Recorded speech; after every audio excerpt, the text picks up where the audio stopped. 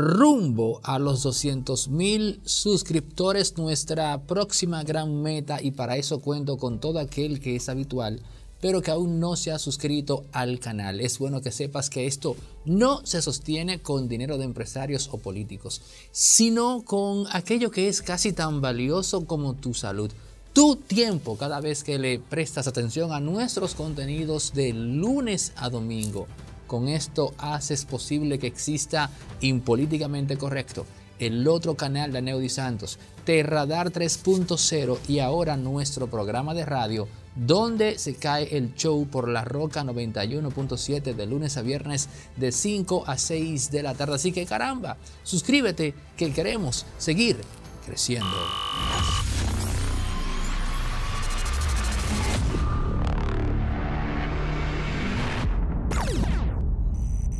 ¿Quién es Enrique Figueroa? cuyo Instagram tiene un sufijo muy sospechoso alegórico a la farándula, aunque el elemento en cuestión aborde temas estrictamente políticos, del juego de intereses, poder, la psicopolítica, tiene el sufijo TV.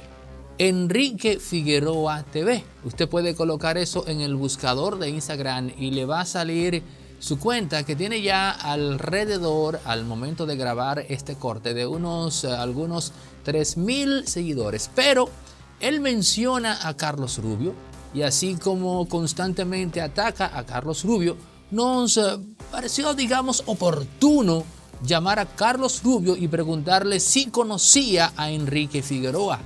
Y este nos dijo que no, que él no sabía de dónde rayos había salido ese elemento e incluso dijo que esa foto que él coloca de, de Carlos en la cual se le ve con barba no se corresponde al protocolo de cómo se utilizan los carnet de los departamentos o u organismos de seguridad de República Dominicana. Aparentemente Enrique Figueroa es un desconocido, pero más bien nosotros diríamos que es un desconocido conocido. ¿Y por qué la paradoja, aunque válida? Porque en su Instagram, cuando usted entre, va a ver fotos de él con gente como Guido Gómez Mazara, fotos con Nene Cabrera, fotos con Farideh Raful y verá también fotos con figuras como Romeo Santos y con figuras como, como Tania Báez. Yo no sé si él conoce a toda esta gente, si todas esas personas que he citado tienen algún tipo de lazo personal con él o pudiese ser que él se haya encargado de hacer lobby de esas fotos. Me refiero a que es una persona o este tipo de individuos que le gusta estar joseando foto con celebridades, porque sí, hay personas que psicológicamente tienen ese perfil. Y ahora recuerdo que incluso tiene una foto con David Ortiz. Pudiera ser que luego esa colección de fotos él la sube a su Instagram queriendo enviar el mensaje de que él es una persona conocida de la sociedad dominicana, cuando en verdad es un elemento del cual sabemos muy poco, aunque hay un detalle que nos podría indicar por dónde viene el caso y la cosa con Enrique Figueroa. Hay un detalle en la cuenta de Instagram de Enrique Figueroa que podría darnos serios indicios de por dónde anda la cosa. Y es que la línea gráfica de algunos de los posts que él sube es la misma que utiliza el Instagramer Aquiles Jiménez, productor de televisión con quien eh, hemos compartido algunas primicias que él nos ha cedido en torno al caso de César, aquel que solía abusar. Pero yo no creo que esa línea gráfica sea una copia adrede de un elemento que busca que busca pues darse a conocer utilizando los colores de la competencia de él.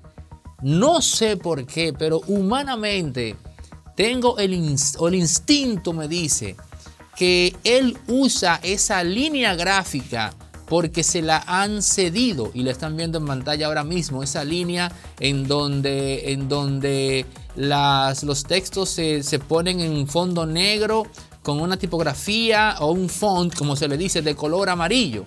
No, esa línea es la que usa Aquiles Jiménez. No creo que la haya copiado. Más bien creo que le cedieron el template para que él hiciera contenido allí. Y si eso es así, entonces Enrique Figueroa viene o anda por los lados de ese mismo César, el que solía abusar.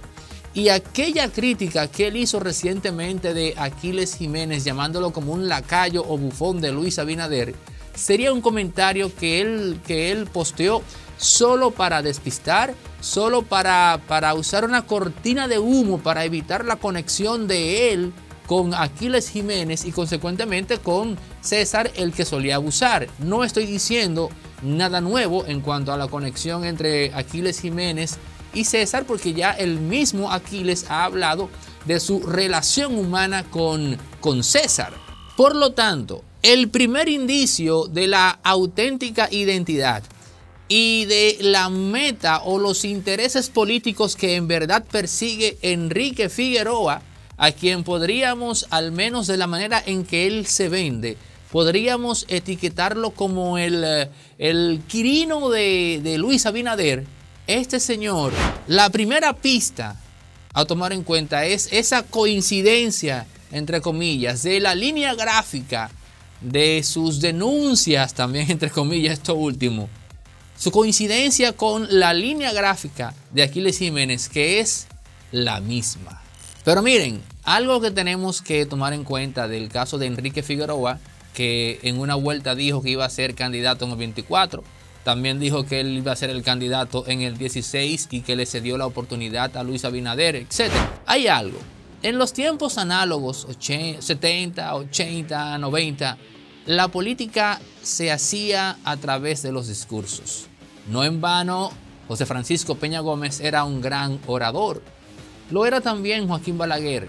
En lo personal no diría lo mismo de Juan Bosch, pero don Juan sí que sabía escoger sus palabras y las frases para cuando hablase, aquello llegase directamente a ser somatizado por todo aquel que le escuchaba.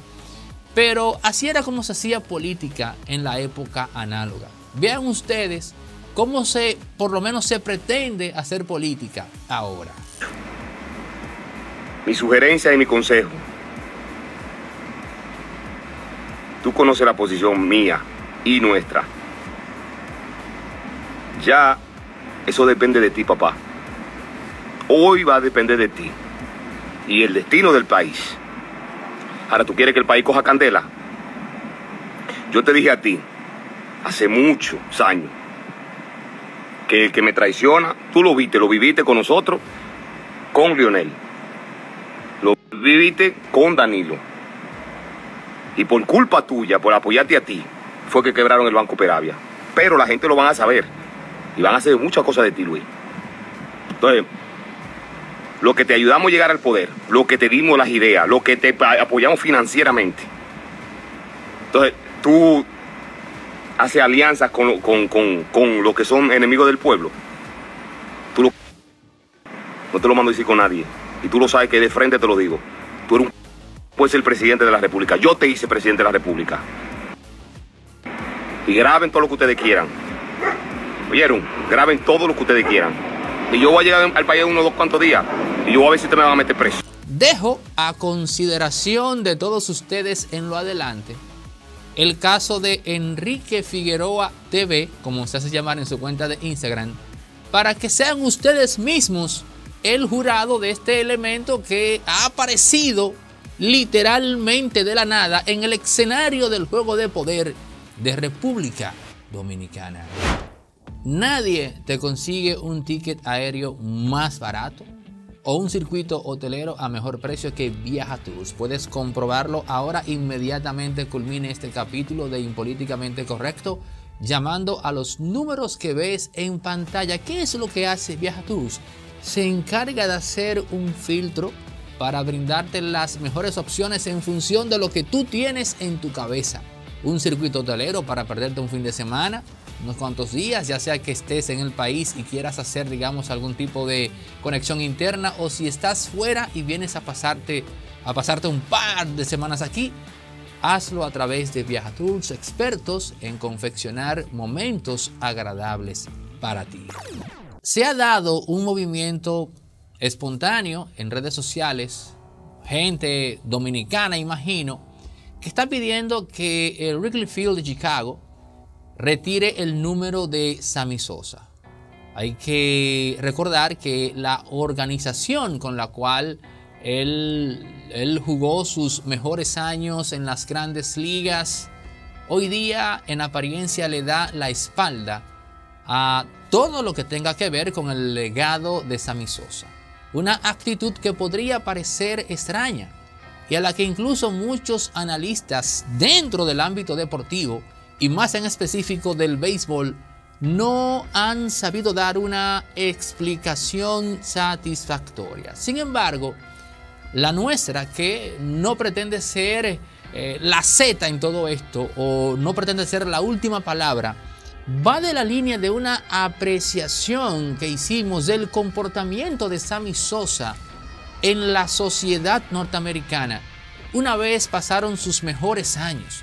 Y cómo Sammy, sin saberlo, de manera ingenua, quiso quebrar un código del patrón cultural de esa sociedad, que está acostumbrada, señores, a elogiar, reconocer públicamente al ser humano en los mejores años de su vida.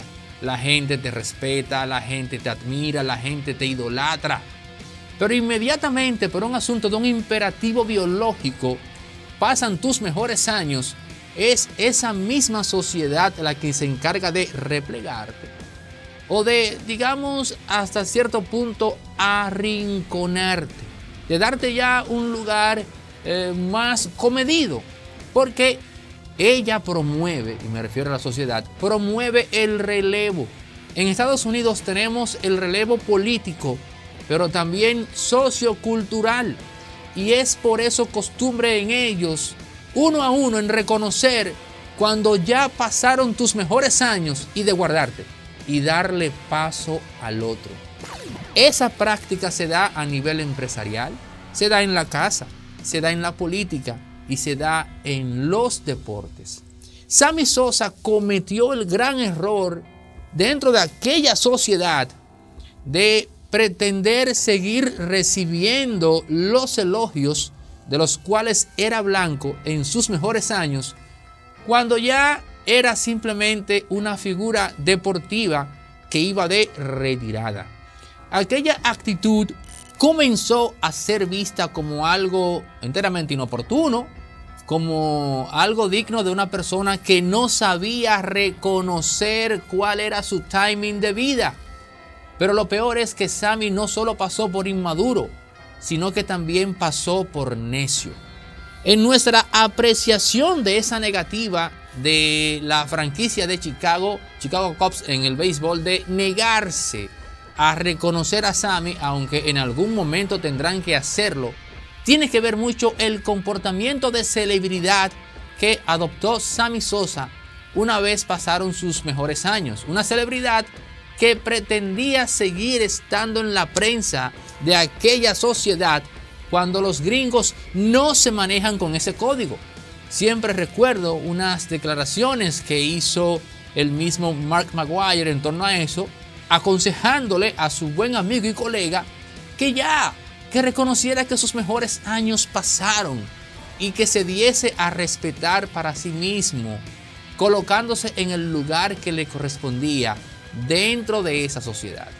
Ese fue para mí el gran pecado de Sammy Sosa. No saber reconocer que le había llegado su tiempo y que como tal él tenía ya que ser o que adoptar más bien una agenda más sosegada, más tranquila, más, qué sé yo, quieta.